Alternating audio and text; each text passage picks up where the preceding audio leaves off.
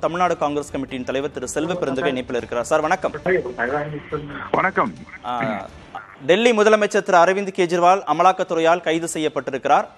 மதுபான கொள்கையில முறைகேடு நடந்தது அப்படிங்கறதான் குற்றச்சாட்டு உங்களுக்கு தெரிந்திருக்கும். ஏற்கனவே டெல்லி துணை முதல்வர் மணீஷ் சிசோடியா சிறையில் இருக்கிறார். அமைச்சர் சத்யேந்திர ஜெயின் சிறையில் இருக்கிறார்.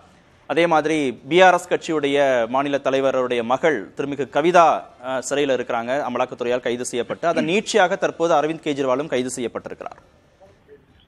பிரிட்டிஷ் ஆட்சி காலத்தில் எப்படி இந்திய சுதந்திர போராட்டத்திற்காக பாடுபட்டவர்களை இயக்கம் நடத்தவர்கள் சிறையில் வைத்தார்களோ அது போன்று இப்பொழுது புதியதாக ஒரு அரசு மோடியுடைய ஆட்சி எல்லா தலைவர்களையும் சிறைப்படுத்தி கொண்டிருக்கிறார்கள். இது எந்த விதத்தில் நியாயம் என்று தெரியவில்லை. அதற்கு நிறைய ஒரு எக்ஸ்பிரஸ் எஃப்ஐஆர் அப்படி என்று சொன்னால் விரைவு முதல் தகவல் அறிக்கை. அதற்கு கைது செய்து நடவடிக்கை எடுக்கலாம். ஆனால் அரவிந்த் கெஜ்ரிவால் எந்த நாட்டிற்கு தப்பித்து ஓட போகிறார்? அவர் என்ன இந்த தேச துரோகியா? இது மாதிரி தொடர்ந்து அவர் தேர்ந்தெடுக்கப்பட்ட ஒரு ஆட்சி நடக்கின்றது. அவர் மாண்புமிகு முதலமைச்சராக இருக்கிறார்.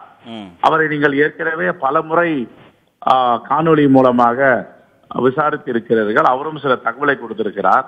ஒரு மாண்புமிகு முதலமைச்சருக்கு ஒரு பிரதேச முதலமைச்சருக்கு இந்த நிலை என்றால் சாதாரண மக்களை இவர்கள் என்ன செய்து கொண்டிருக்கிறார்கள் என்பது இது ஒரு முன்னுதாரணம் இல்ல சட்டத்தின் முன்பு எல்லோரும் சமம் தானே சட்டம் தன் கடமையை செய்திருக்குன்னு. பார்க்க முடியாதா? இல்ல இல்ல. சட்டத்தின் முன்பு எல்லோரும் சமம். அதே நேரத்தில் உச்சநீதிமன்றம் சொல்லுகிறது சாதாரண பாமர மக்களையே கைது செய்வதையும் சிறையில் அடிப்பதையும் தவிர்க்க வேண்டும். விசாரணை நடத்த வேண்டும். விசாரணை நடத்தி நீதிமன்றத்தில் குற்றம் நிரூபிக்கப்பட்டால் அவர்களை சிறைப்படுத்தலாம் என்றுதான் பல வழக்குகளில் தீர்ப்பு சொல்லியிருக்கிறார்கள். எல்லாவற்றிற்கும் எடுத்து சிறையில் அடைத்து விசாரிக்க வேண்டிய அவசியம் இல்லை என்பது பல தீர்ப்புகளுடைய நகல்கள் இருக்கின்றன. ஆனால் இவர் ஒரு முதலமைச்சர் ஒரு பிரதேசத்தின் முதலமைச்சர்.